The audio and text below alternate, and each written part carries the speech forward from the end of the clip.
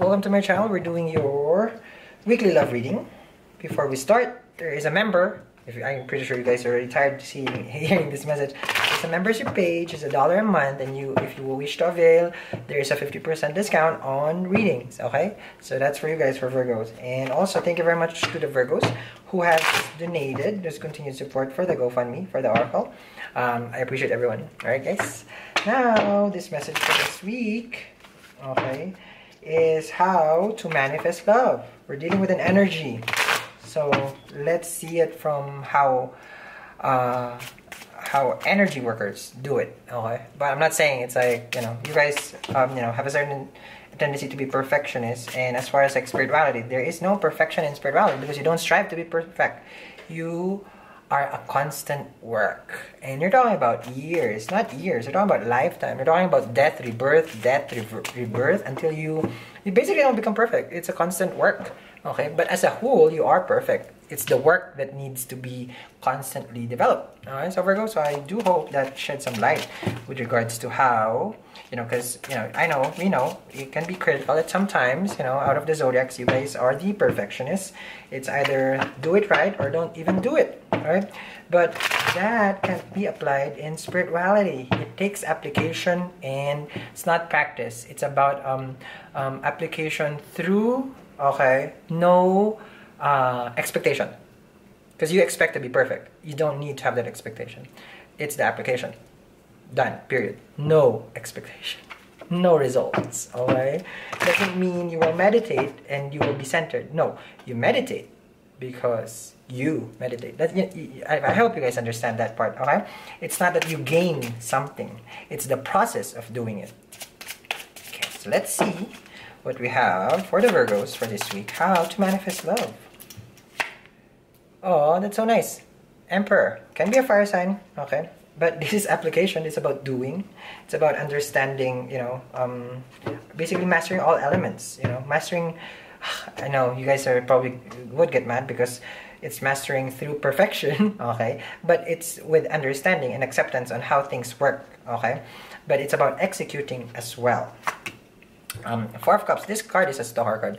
This is, you know, um, um, it's showing here um, contemplative energy, meditating, understanding the situation, okay, that things, okay, Four of Wands over here, um, things do go, um, you know, a certain cycle of completion. It's about working hand in hand with someone, not just you. I'm pretty sure you do get tired of a relationship or working in a relationship because you always feel that it's always you, you, you, right? But it's not about that. Do you even share the energy with the other person? Or you feel that the relationship is just really about you because you manifest you're so busy.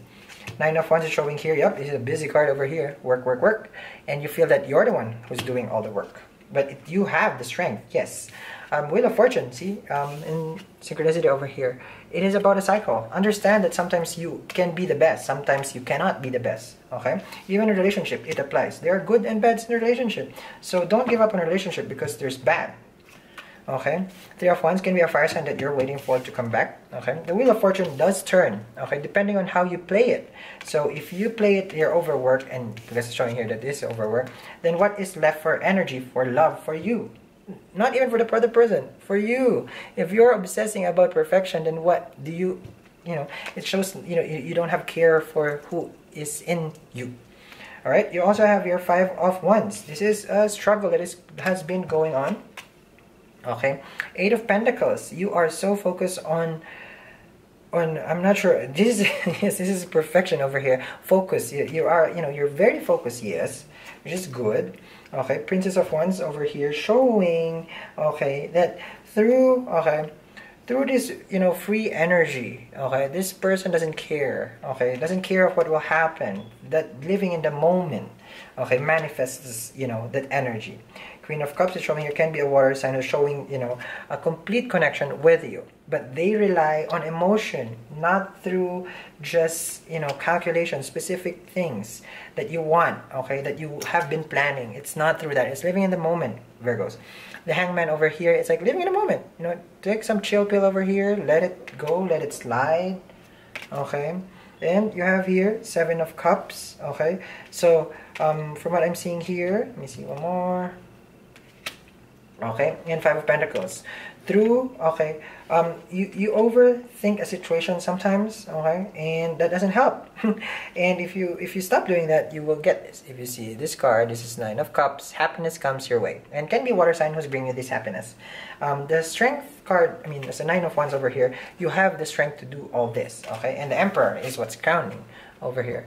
So, yes, you can. You know, yes, you can control the inner self within you who always is overworked for and you forget caring for your own self. Okay? So, I do hope you have some, you know, some extra care for yourself, Virgos.